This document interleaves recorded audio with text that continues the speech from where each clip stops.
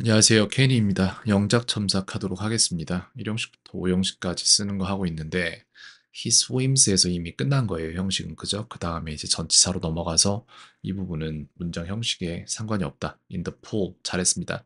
I'm popular 됐죠. 이것도 이 형식이죠. 다만 이 형식 동사를 좀 더 다채롭게 사용하면 좋겠어요. 이 형식 동사 굉장히 많거든요. 찾아보면은 그래서 그런 것들 사용하면서 익숙해지면은 내년에 이제 고등학교 가서 시험 볼 때나 이럴 때 그 지문에 나온 그런 이형식 문장들을 보면 이게 이형식이구나라는 걸 자연스럽게 알게 될 거예요. 근데 그걸 모르면은 문장 해석할 때 이상한 해석을 하게 돼 있습니다. 그래서 그래요.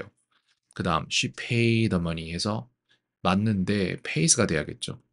왜냐면은 이게 그거 이렇게 하면 되나? pays가 돼야 되는 이유는 pay, 어, she는 3인칭 단수 주어니까 그래서 그렇죠. My mother tell 이것도 마찬가지로 tells가 돼야겠죠, 그죠?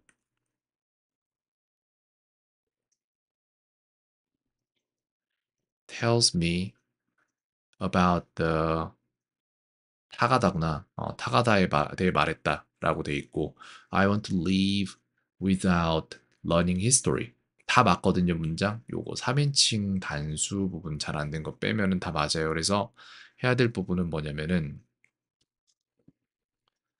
이거를 어제 내가 어디선가 했는데 알렉스의 수업에서 했던 것 같아요. 3인칭 주어에서 변하는 것들에 대해서 얘기를 분명히 내가 했던 기억이 여기도 안 했나 보다. 여기서 했나 보다.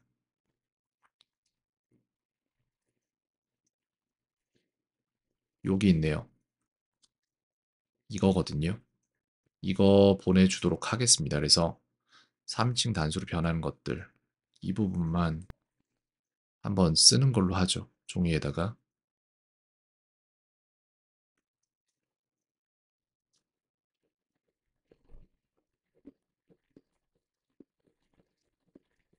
글씨 보면 심각한 거 알 수 있죠. 자, 이거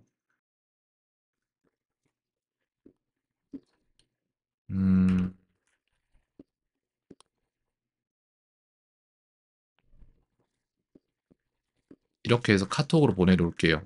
이거 잡혀야 돼요.